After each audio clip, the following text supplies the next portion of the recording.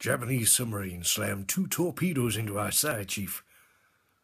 It was coming back from the island of Tinian to Leyte, just delivered the bomb, the Hiroshima bomb. 1,100 men went into the water.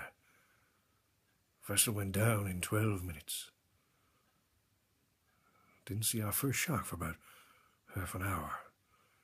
Tiger, 13 footer.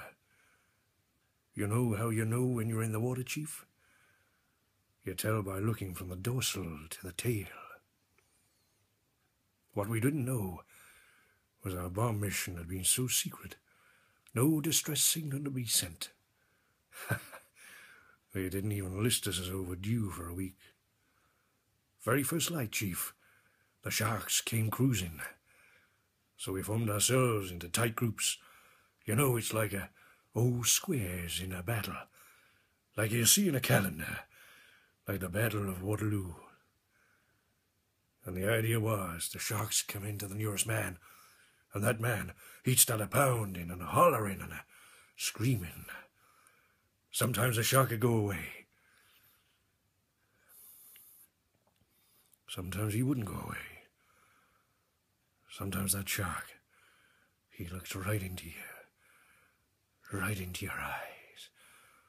You know the thing about a shark? He's got lifeless eyes, black eyes, like a doll's eyes.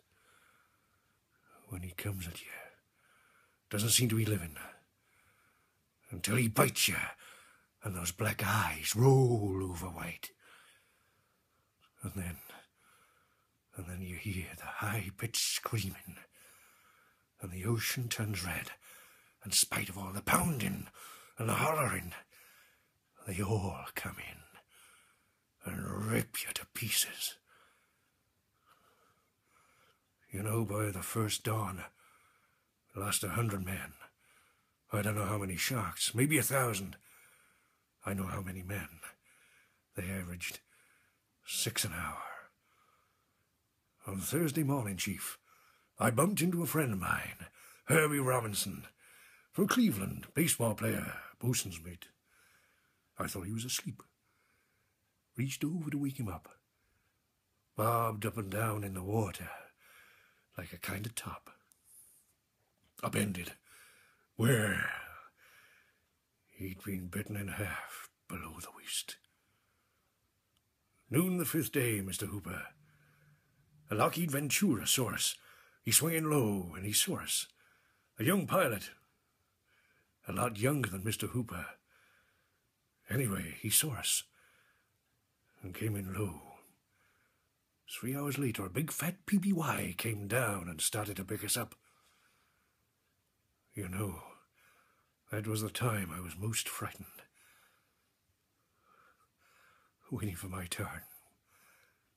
I'll never put a life jacket on again. So, 1,100 men went into the water. 316 men came out. The Sharks took the rest. June the 29th, 1945. Anyway, we delivered the bomb.